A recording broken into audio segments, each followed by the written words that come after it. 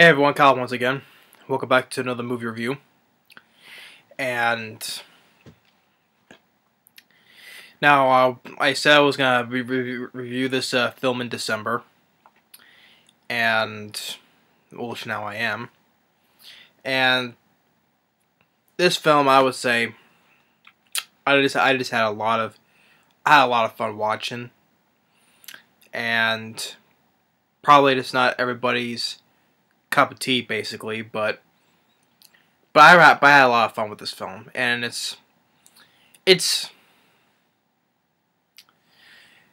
well, let's see, let's see. It's not a film that's supposed to be taken seriously just because of the title of the film, and but despite despite you know because it's a it's a like a it's a low it's a it's a very low budget film and but it goes to show with a very low budget film, you can make it into make it into a fun creature feature film. And I said I'd be reviewing this in December, and, and I said I would, and I'm reviewing Mosquito, the 20th anniversary edition, released in um, 1995, directed by Gary Jones, which, if I'm not mistaken, I believe that he worked with uh, Sam Raimi when he did like his um Evil Dead 1 and 2 and the Army of Darkness. I think he was like a special effects person, I think he was. I could be wrong. Um but and, uh, if, if that was true, um, which I, I believe it is, I think he just took. I think he took like a couple of things from Sam Raimi and added a little stuff into this film, which I'll get into and I say he did, he did a good job directing the film. Um, he only um, he directed, but he helped write, helped write the film.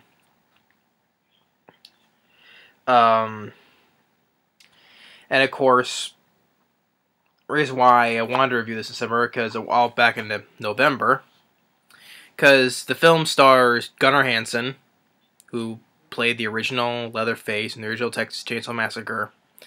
I did the video because um before, uh, after like a short time after this uh, came out on DVD and Blu-ray, he uh, in like the beginning of November he passed away, and I did a video on um, you know Rip Gunnar Hansen, and I said I'll I'll just review this in December, you know, close to the Christmas time and stuff. So I just right time to review it. So I said I would, and I'm doing it.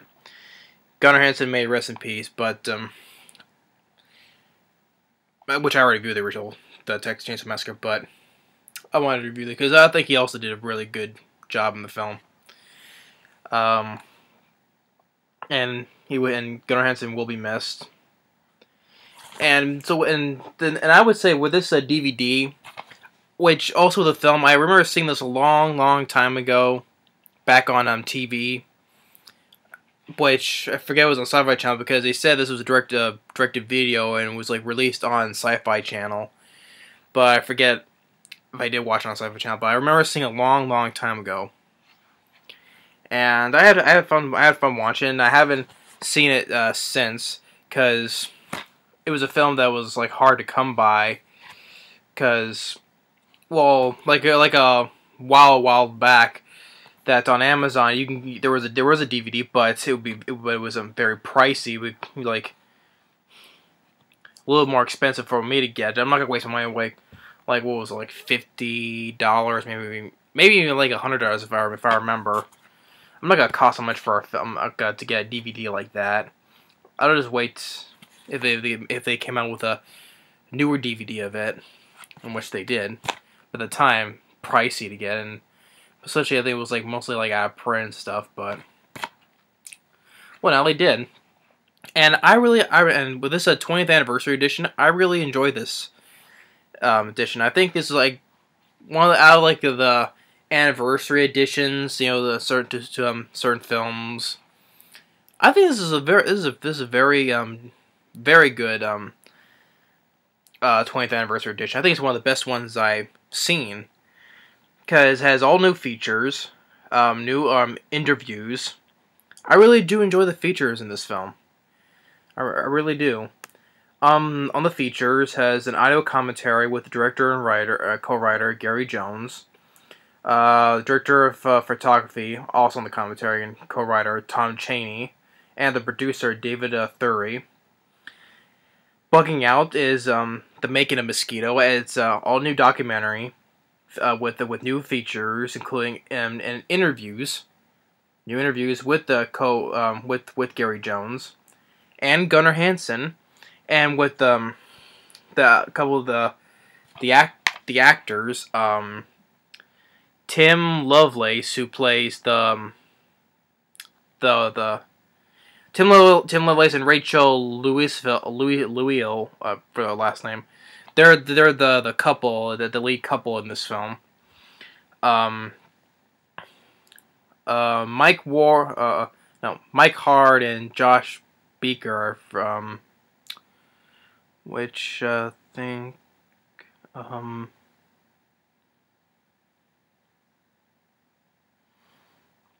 I forget, I forget who those, those um those people are, but um, I forget what they, what they are, and um, and also including um the uh, director of photography, um Tom Chaney, and producer as well. Um, just no director of photography. The produ- and then and also the producer, David Thury. And it's a pretty, it's a very, it's, I would say it's a very good doc, very good documentary. It's not a short documentary. It's a very, uh, uh, I would say a long documentary. I would say probably about um, a little, uh, maybe over thirty minutes. So I would say that I, I enjoy the documentary, and while talking also with talking on the film, at least um, they were not giving giving this film crap about it. At least they talking they were talking. At least they had they have fun making the film because it's a film about giant mosquitoes. You know, it just at least which I'm glad for. At least they weren't shitting on the film, basically. At least at least they admitted that they had fun with the fun making it because they wanted to make a, a film about giant mosquitoes, and then they did. Also, in the features has ex- uh, deleted extended scenes and also an optional commentary with the director, behind the scenes footage with also an um, optional commentary with the director, trailer and still gallery. It also includes some reverse some um, cover art. So, like, have this cover here, and if you want to open it, take this out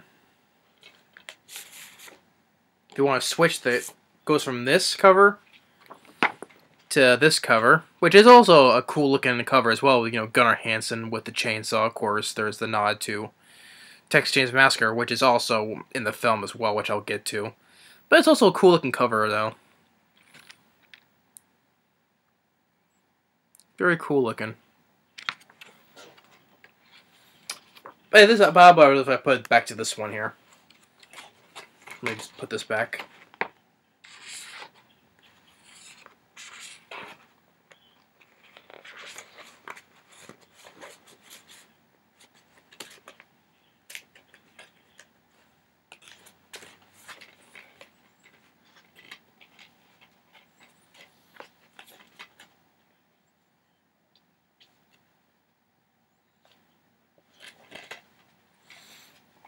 And also inside inside inside the DVD also comes like with them the original poster of um, Mosquito as well, which is also a cool looking thing as well.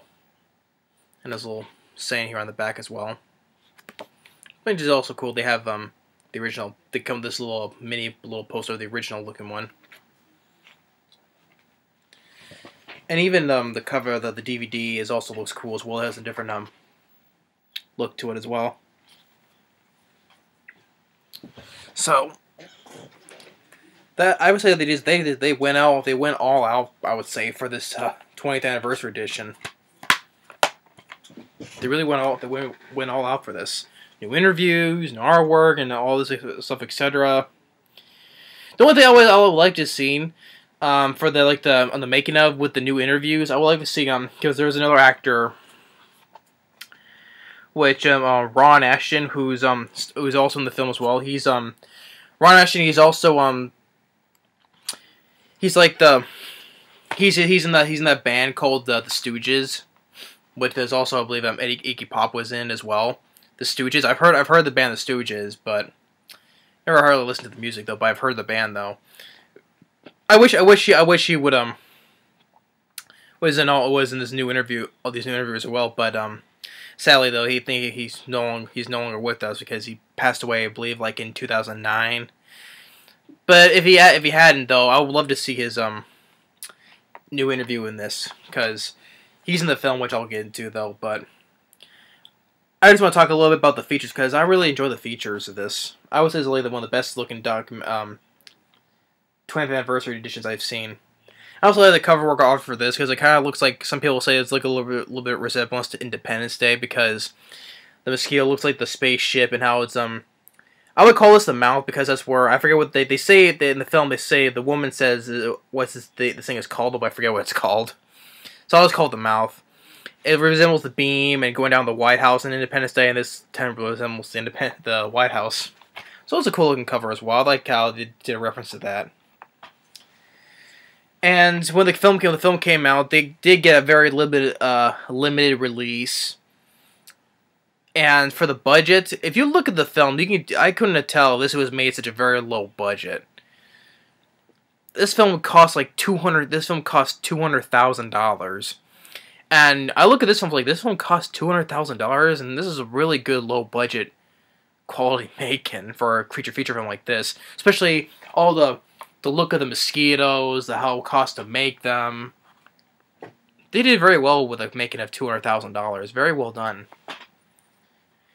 But of course, um, on IMDb has a very low rating, um, 4.4 on IMDb, which I would disagree. I put that much higher though.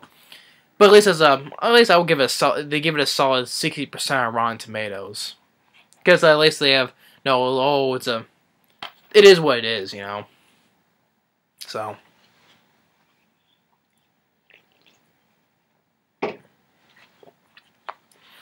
But getting into the film, um, I, uh, has a, I like how the way it opens up. Um, a spaceship, an alien, well, an alien ship. Good looking model of it, I would say. Crash lands into this um park or campground. And the way, and I like this also this good looking shot is how this mosquito is being born, how it comes up, you know, like being hatched and stuff. Good looking shot as well. I I like that. And I also think was also a cool idea that the mosquitoes they drink the blood from the alien. They drink the alien blood, and that's how they grow to be giant size. I thought I, I like that idea. I thought it was a cool, interesting idea. Because usually when when it's like giant when, when it deals with like giant bugs or other giant animals, usually they they grow to giant size because because of toxic waste. Usually, that's always an idea that how them they always grow giant size because of always always toxic waste. Like Eight Legged Freaks, they the spiders grew big because of toxic because of toxic waste, or alligator two the mutation that alligator grew to giant size because of toxic waste. So I like how they took an idea of uh, like how mosquitoes drink alien blood to grow giant size. I think that was a cool looking idea kind of refreshing idea in a way for creature feature film. So, and then and then shortly after that, like in almost like in about um, a minute after that, we have the we have the the lead couple, uh, Tim Lovelace and um, Rachel Louis Louis uh, Lewisil. They're driving because uh, she's like the new park ranger. Instantly, as they're talking, instantly they they just run over this giant mosquito. Like the mosquito is like flying across the road and just like splat. It just gets splat as the um hit over by the car. I was like, wow, eh, like like just the movie is like barely opened. You got alien, uh, mosquitoes drinking alien blood, and all of a sudden, all of a sudden, pff, giant giant mosquito hit by a car and it's practical, which I was uh, I give really big props to because, like I said before, they also use the the mosquitoes are real all are all practical, giant mosquitoes, not just small ones, giant mosquitoes, and they also have some good looking shots of stop motion anim animation as well. Um, as I imagine these, all these mosquitoes that they made, they just did well did well without making of two, of, a, of making a two hundred thousand dollar budget. Very well done and they see it, and it looks like, oh, we hit something, and it's like, and the girl's oh, it's like it's like a giant bug. It's like this one's like it can't be. It's like a, the the guy, the boyfriend's like this one's actually of a giant bug. And then then then so there's some other that messes up their um car, but they get where they, they need to go. And then there's this campground, which um another park ranger by Hendricks, played by Ron Asheton. He's like like he's just like spying on some girls with binoculars, and um he gets called to his boss, you know, to to get rid of the mosquitoes and stuff. And he comes out with this um fogger, which is like prevents the mosquitoes from around. And he says, "All right, mosquitoes, um, throw down. Let's throw down." But oh, another thing, the acting I would say the acting is not that it's not that great. I can tell the acting is not that great, but as long as I'm having fun with the film, I can let that I can let that go. Because yeah, I know the acting is not the it's not that great, but I'm having fun with the film. I can let that go. I can let that slide. Because all the other things are the reason why I have fun with the film. And then, and then you have Gunnar. You have Gunnar Hansen, and with his uh, brother and this other guy. They're they they robbed they robbed a bank, and one of the guys that goes to the porta potty and he sees a giant mosquito. He runs out and he gets chased after. And uh, Gunnar Hansen's brother he's trying to shoot the giant mosquito, but he accidentally shoots the guy accidentally in the back and kills him. But then Gunnar Hansen goes and gets a freaking shotgun and just starts and just blasts that giant mosquito away. Practical explosion of it. Yeah, that, that's good. That was that was good as well. Yeah, the, the guy misses and kill actually kills his uh par, um buddy, but Gunnar Hansen goes and gets a shotgun and just just goes and shoots it. Gunnar Hansen, I would say he did, he did a good job in the film. May rest in peace. And then it gets some good uh, gory death scenes as well. Like there's these two guys fishing. Um, one mosquito fl flies on one guy, which is like um, which is this scene uh, right here. You can see it without the glare. The guy, the mosquito, the mosquito sticks um the I will, I will call it mouth. I forget what what the how it's properly called. Sticks and jams it right into that guy's eye, and then and you can actually see uh, um, the mosquito sucking the guy's blood. You can see it goes right through the, the mouth and into the back of his body. The blood getting sucked in. Good looking effects as well. And the other guy runs into the into the forest, but he gets killed. He gets like st gets stabbed in the chest. And or and then there's another scene with it with a, when it's at night and there's a couple having sex, of course, and um, one guy goes out of the tent, then the giant mosquito crawls into the tent and kills the woman, the naked, the naked woman, by jamming its mouth right into her her butt cheek, basically. It's, it's it's funny at the same time, but I'm still having fun watching. It's like stands right stands right into her cheek and starts kills her that way. And then the other guy sees the other mosquitoes come, and the guy's like, "Motherfuck!" Which, of course, that kind of uh, um, Scream kind of reminds me, of course, probably a lot of people think is, of course, Troll 2 with the oh my god saying, oh my god. Here it's just like, it's like, it's like motherfuck. Yeah, was, so that's what I mean by the acting not that being that great though, but I'm still having fun with the film. And also, there's another guy played by Steve Dixon, which he's a guy who's a meteorologist. He's chasing after looking at looking uh, looking for meteors, and he gets like his he has a device for radiation and stuff, and he has one that he says he's like uh, like one's like around here, around where the park is. Of course, that's where it landed, but spaceship, of course, but. It well, he knows it landed right here or landed, right around here. That's why he's there. And he meets he meets up with the with the the couple Megan Ray. That's what their names are um, the woman's over the bridge. The the the, the boat with a dead fisherman inside. Uh, see, she sees it, and they wondering what happened to him. And as they as they go as they uh, try to go, they both go different directions. And um, uh, Parks, Steve Dixon, he's at the campground. He's in the campground, and then next you see you see a, a whole bunch. The campground is full with dead bodies all dead bodies that's been sucked dry by the giant mosquitoes, which goes to show that these giant mosquitoes, they're not messing around. They just want to suck the blood out of people, and they did. the whole camp the whole campground's full of dead bodies. And they go to the boss's office. That guy's been sucked dry as well. They find um, Hendricks who hid underneath the boat, explaining that it's, giant mosquitoes. And so they take they take an RV, uh, the the RV camper, and then when it's at nighttime, they they meet up with um Gunnar Hansen and his brother, but they have him at gunpoint, but they manage to take away the weapons and tie him up in the RV. And as they're driving, um, the whole swarm attacks RV. You see a little good clips of stop motion animation, which is pretty good, decent as well. Most of it is practical. Well, well, not most of it is practical. It's all practical. When uh, the, the, the mosquitoes are trying to get in the RV, they're just getting the shotguns, shooting them left and right. So having um one uh, like Gunnar Hansen like kills one with a the hatchet, but um, and he tries to hold the woman, you know, with the threatening to kill the woman with the axe. You know, put down the weapons. But eventually, um, the RV tips over, and they all get out. And Gunnar Hansen, his Gunnar Hansen's brother, he tries to get the money that they stole from the bank and he gets attacked by the mosquito, and he gets um, punctured, and he gets sucked sucked dry. And this is where you get the scene, pretty good looking the scene where that scene right there where the guy's eyes pops out, and as they pop out more, this, the guy's eyes explode like balloons. They just pop. Good looking, good looking, good looking effect. How the guy gets sucked dry and the eyes just pop like balloons.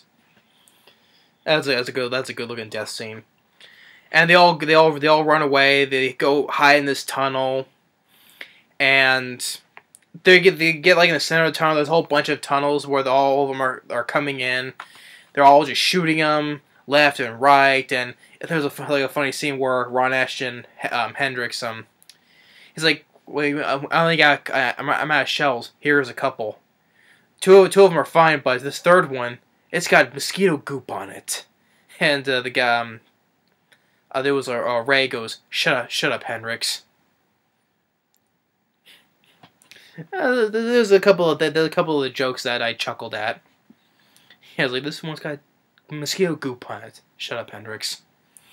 So it's running low, so they get the they use so they use their shirts to light them on fire because um they don't like fire. So they put which one in each tunnel to make them go away.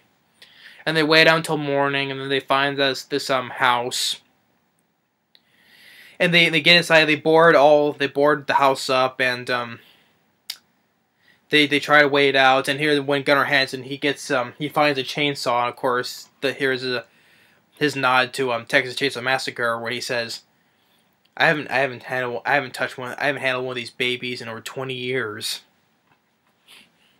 Yeah, there's him. He's holding his. Can't see the there. There you go. He's holding his chainsaw.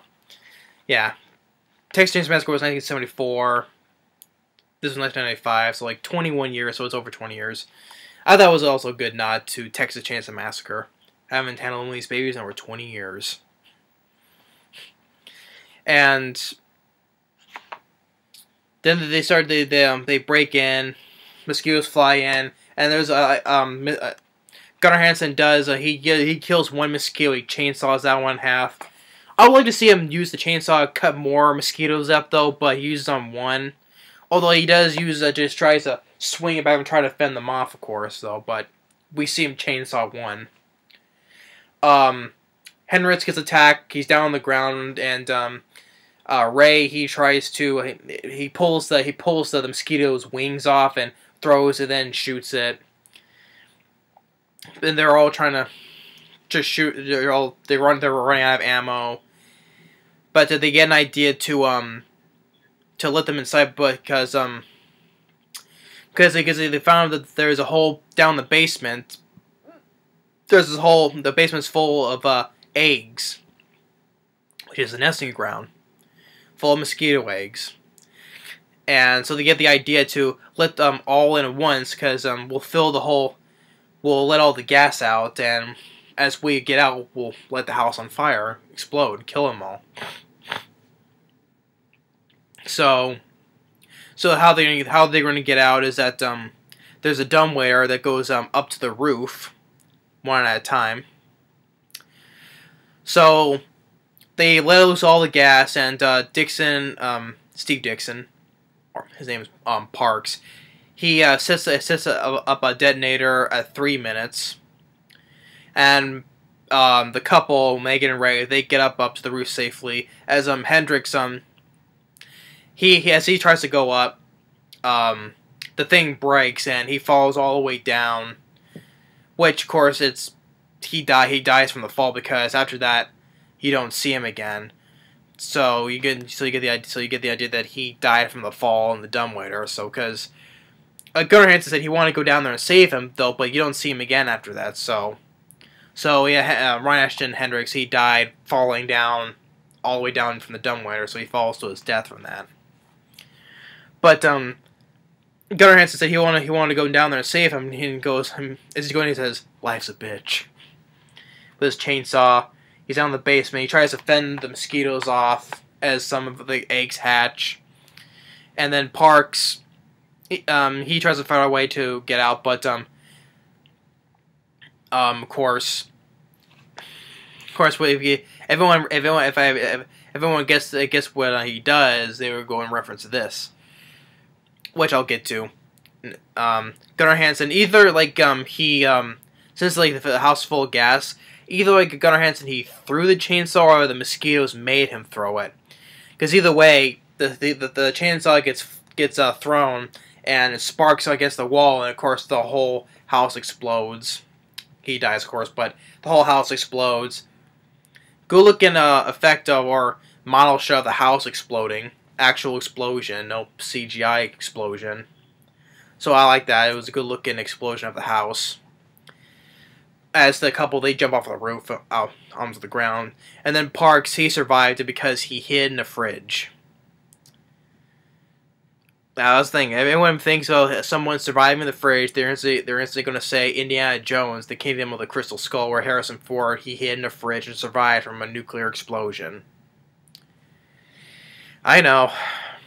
People, people, I, I, well, first of all, I like, I like that film, Kingdom of the Crystal Skull, but everybody seems to give that film a lot, of, a lot of crap, but mainly one of the points because Indiana Jones survived a nuclear explosion in a fridge. A lot of people give that thing idea, but I don't think it's not a. They give that they give that a lot of crap, but it's not a bad idea as I would say because I've seen a lot dumber ideas in films, but I mean, come on, that that's not. Yeah, of course it's it's it's it's it's fantasy, you know. It's it's not supposed to be realistic. Indiana Jones is fantasy, okay. It's, it's of course it's not supposed to be realistic yeah, a lot of people, yeah, I know people tend to give that idea, that's especially that scene, a whole lot of crap though. But it's not the worst, not the worst idea I've seen. I've seen a lot dumber ideas, dumber slash worse ideas. But this this did it this did it before Indiana Jones, The Kingdom of the Crystal Skull. Parks hid in a fridge and he survived the house exploding. He hid in a fridge. So before all that, this idea came first. Parks, before the house exploded, Parks hid in a fridge and he survived. And then they they, they find him, and then they walk off. So yeah. People can give that that scene, that film, a lot of crap though, but this one here, part this that this is like this did before it, you know, just Parks in the fridge and survived in that. I don't think it's not that dumb of an idea. I just don't. I just don't think that. But I, I don't know what more I could say. I I I enjoy Mosquito. It's a it's a it's a it's a fun B movie. That's what it is. You know, it's for a low budget creature feature film. It's it's a it's a B movie. It's a fun. I would say a fun B movie, or even I would say a fun gem, I would say. Creature feature gem. I, I hardly, I hardly, which I hardly use that word, gem. But oh, so the acting is the, acting is not all that great though. But um, I, I was I would say Gunnar Hansen. I think he did a good job. Even the um, the the rest of the cast, they were not that bad at all. Uh, the, the guy, the, the couple, Rachel Luiso, Luiso or Tim Lovelace, they were they were they were they were all right at best. Steve Dixon, I thought he also did pretty well as well. Um, as pretty well as well. Ron Asheton, I thought he was, I thought he did the best he could because there was a couple of jokes that he did I did chuckle at. And which is too bad. I would say that if he was still alive, I wish he would have done a new interview with this film, but he died. I think it was in 2009 though, so which is too bad. Because I would like to get, I would like to get his see, get him his new interview in this though, but but he was all right as well. Got like a couple of his jokes I did like, you know, with the scene with the shotgun shell and um, when he came out with the, the fog machine.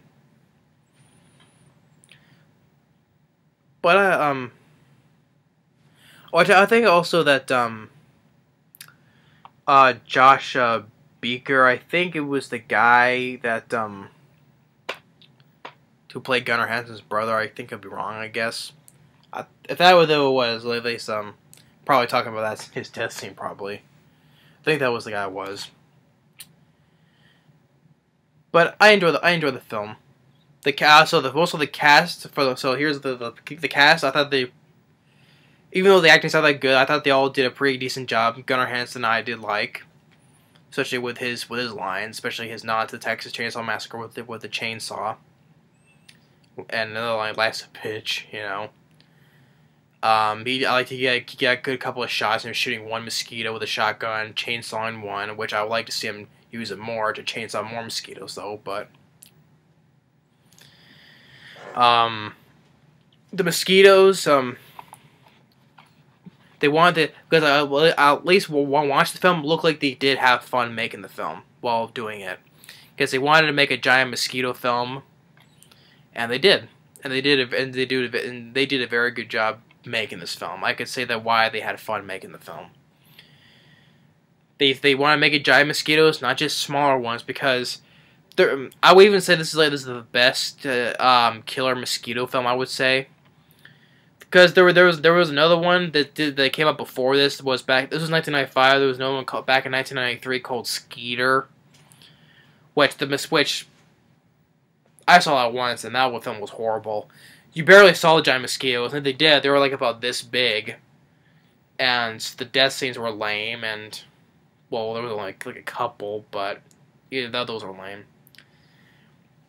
That wasn't that good of a movie. This is this is how you do it the right way. Better than the mosquito.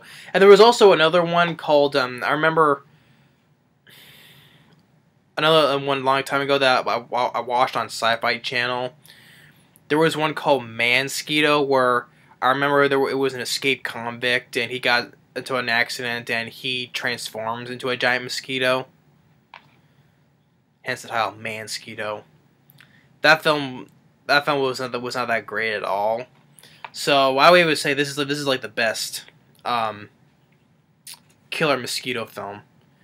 It I would say done the right way because there's giant there's giant mosquitoes